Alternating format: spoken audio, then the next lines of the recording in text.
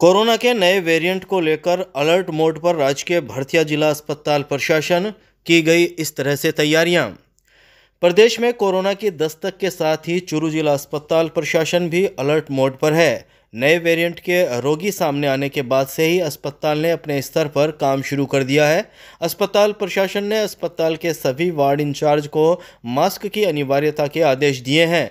अस्पताल के medical superintendent doctor Hanuman Jaipal ने बताया कि कोरोना को लेकर अस्पताल में माकूल व्यवस्थाएँ हैं। अस्पताल में ऑक्सीजन के पाँच प्लांट बने हैं, जिनमें से तीन बेहतर काम कर रहे हैं।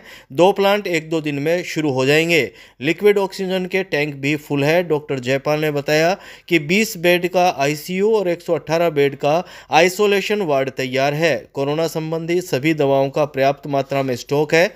उन्होंने बताया कि अस्पताल में कोरोना की जाँच शुरू की गई है। इसके अलावा मेडिकल कॉलेज में भी कोरोना के सैंपल लिए जा रहे हैं। उन्होंने आमजन से अपील भी की है। जो कोविड वायरस है ये ऐसा वायरस है इसके लिए हमने हमारे पूरे अस्पताल प्रशासन ने मतलब जाँच व्यवस्था कर रखी है। इसके लिए वार्ड वाइज हमने इसके लिए एक बेड रिज़र्व कर लिए हैं और पंद्रह बेड हमने आईसीयू बना दिए हैं। तीस बेड हमने आइसोलेशन रखे हुए हैं। कोई भी पेशेंट अगर कोविड का आता है हमें लगता है कि कोविड हो सकता है उस पेशेंट को उसके तुरंत जाँच की जाती है और कोविड पॉजिटिव आने पर उसको अलग वार्ड में शिफ्ट किया जाता है। तो वार्ड में व्यवस्था कर रखी है। सेकेंड पार्ट जो ड्रग के हिसाब से तो हमारे पास में कोविड के लिए पर्याप्त मात्रा में ड्रग्स इंजेक्शन है, और थर्ड पार्ट है कि इसमें मेन पार्ट का तो की व्यवस्था होती है। तो उसके लिए हमारे पास में दो एलम ऑलरेडी भरे हुए हैं। प्लस हर वार्ड में हमने ऑक्सीजन बेड है। उसके लिए हर वार्ड में ऑक्सीजन पर्याप्त मात्रा में तीन हमारे प्लांट अभी भी वर्किंग है। इसके अलावा ऑक्सीजन कंसनट्रेटर है किसी कोई दिक्कत हो रही तो उसका भी हम यूज़ कर सकते हैं। इसके अलावा हम खाली सिलेंडर है वो भी हमने हमारे भरवा लिए हैं। तो हमारी तरफ़ से पूरी व्यवस्था चाक चौबंद है।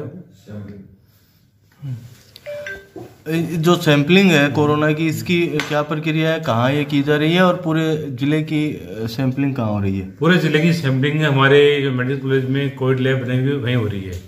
और जैसे हमारे वार्ड में कोई पेशेंट आता है या कोई पेशेंट जो हमें ओपीडी में आता है उसके सैंपल अपने एफिसर लैब है और उसकी स्क्रीनिंग होती है सैंपल ले जाते हैं वहाँ से सैंपल कलेक्ट कलेक्ट करके उसको अपने मेडिकल कॉलेज भेज दिया जाता है। वर्तमान में कितनी हुई है रोज सैम्पलिंग वर्तमान में वही पेशेंट के हिसाब से जैसे भी परसों एक भी नहीं हुई थी कल कल बीस एक सैंपल आए थे तो उस पर पेशेंट पर डिपेंड करता है पेशेंट कितने रहे। हैं मेरा सभी से ये कहना है कि सभी अपने मास्क पहने और अपने कभी जुकाम हो तो अपने घर पे आइसोलेट रहें तुरंत चिकित्सक परामर्श लें और खाने में ठंडा ना लें गर्म सूप लें गर्म काढ़ा लें।